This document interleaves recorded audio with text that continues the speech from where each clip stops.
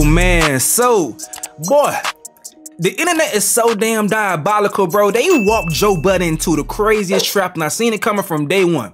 From day one, when all this coverage started about Diddy, and you seen that some people were quiet when it came to Charlamagne God or Joe Budden or whomever. Some folks were quiet because they like, damn, I've had my own set of allegations, so how can I hop out when it's just allegations at this point to speak on this man. So at that point, they were safe to just straddle the fence. But once the hard evidence came out that Cassie was indeed physically harmed by Diddy, these folks couldn't straddle the fence anymore. They had to make a point.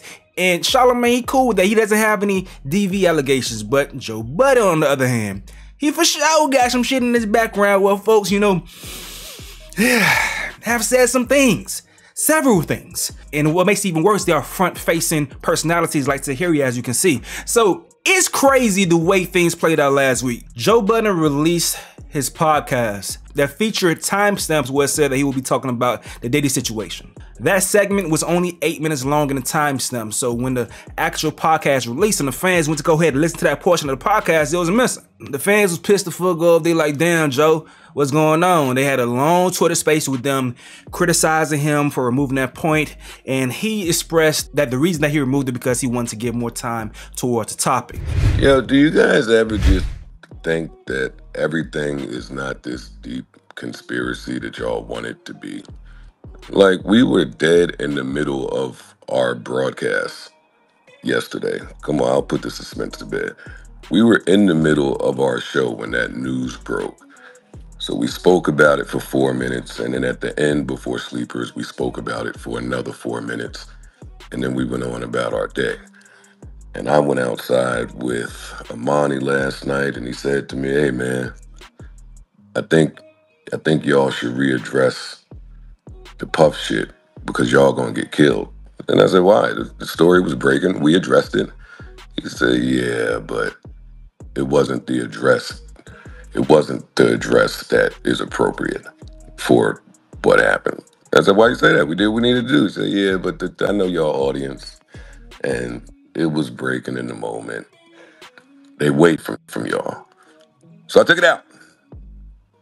I took it out because it was insensitive for the moment. It was it was talking for four minutes about what happened, and in three minutes at the end is not the attention that the story needs, and it ain't the commentary that it needs. So I don't need to be the first one to run to something. We're gonna get to it on Wednesday.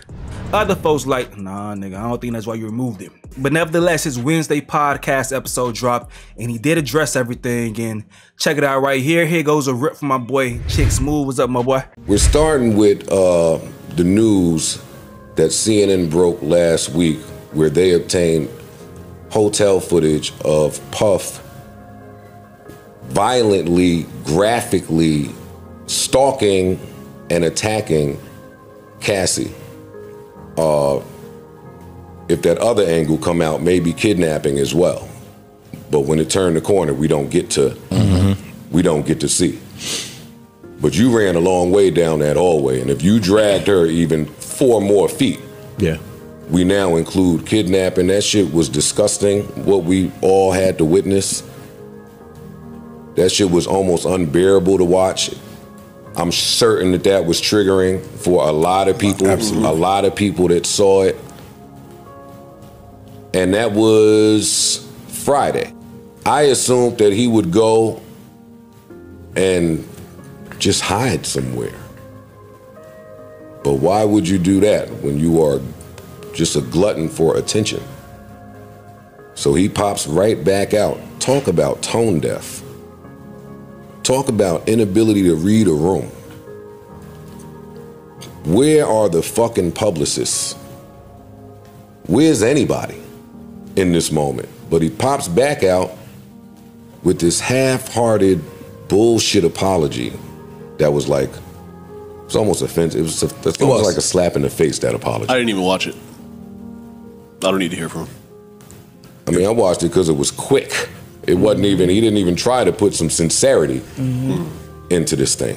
That CNN Puff story broke as we were recording. Literally. Mm-hmm. And while we did touch on it, when I listen back, I didn't feel like enough time was devoted to just how much of a fucking lunatic that nigga looked like and what that means industry wide for all parties involved.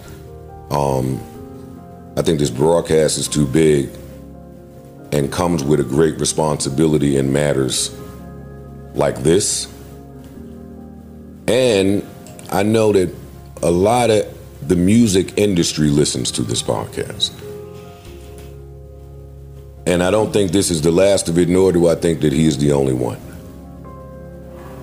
So at any point, we want to start having some uncomfortable conversations. Not only am I down for it, but I'm down to initiate it. Because this shit is a mess mm-hmm. out It here. is. And he looks like a fucking nut. He looks like a complete Monster. just a complete evil mm-hmm. piece of shit. What I saw, what I saw on that video, as horrific as it was, lends a lot of credence to anything horrific I've ever heard. Mm-hmm. Yep. And that's the uncomfortable spot.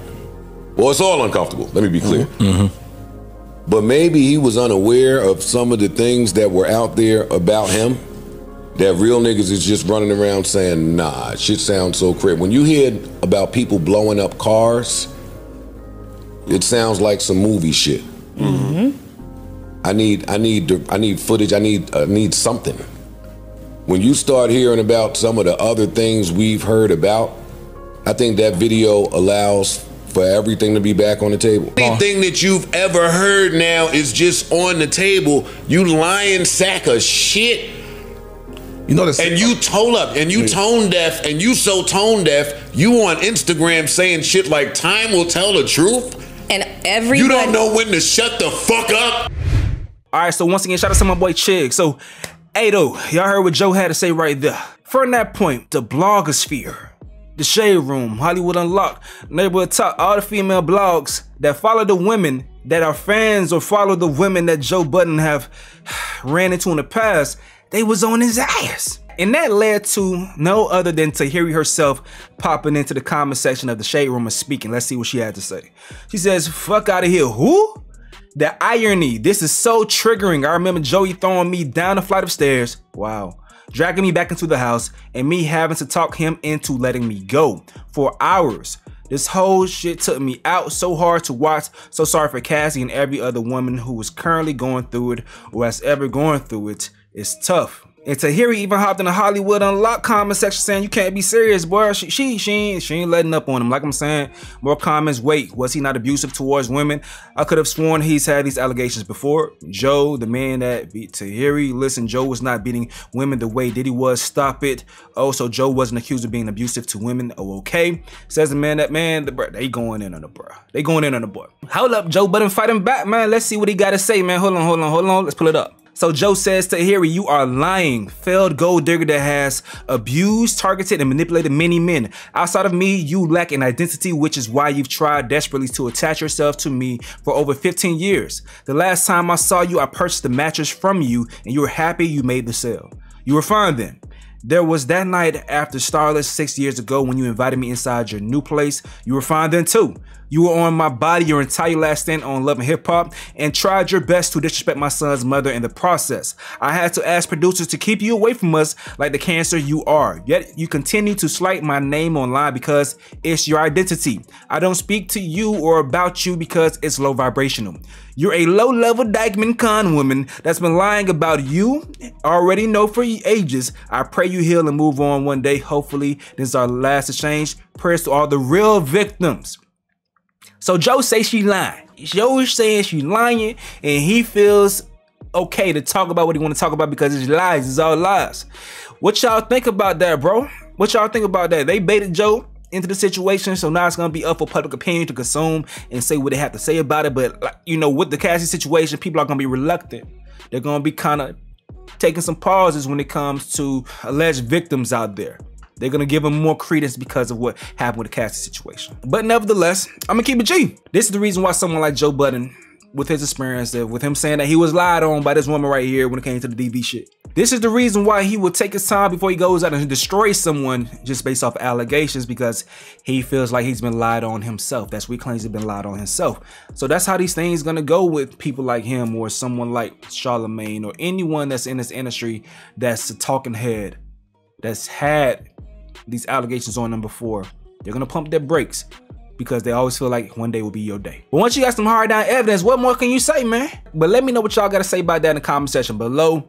Joe Budden and this topic was either damned if you do, damned if you don't, because once people got an idea about you, and they may not like you anyway, they're gonna just ignore all the other shit that's said and just and just clamp on and focus on what they want to. So me, I have no dog in this fight. I don't know these people. It's one person's word versus the next. You are going to do what you want to do to make whatever narrative makes sense for you. So do with this information what you feel is necessary, all right? Let me know what y'all got to say in the comment section below. I'm going to go ahead and get up out of here, though. This has been another update with Stace. Yo.